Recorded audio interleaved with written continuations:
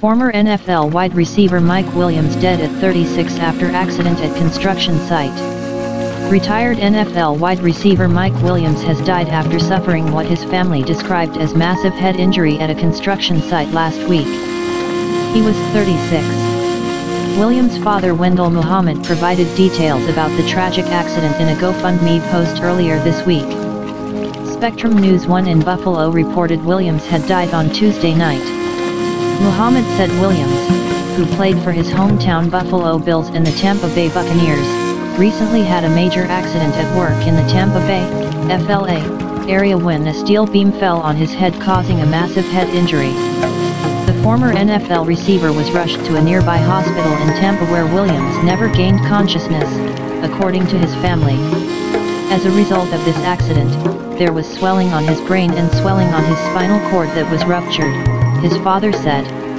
These injuries resulted in complete paralysis in his right arm as well as his lower body from the waist down.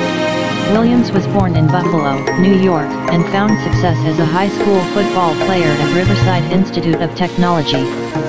He went on to play at nearby Syracuse before he was drafted to the NFL in 2010 by the Buccaneers. The wide receiver played five full seasons in the NFL before retiring in 2016 with the Kansas City Chiefs.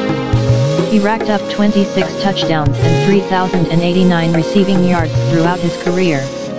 Dang man hurts my heart seeing the news of my former teammate and Buccaneers 2010 draft class brother Mike Williams, his former Tampa Bay teammate Gerald McCoy tweeted late Tuesday night.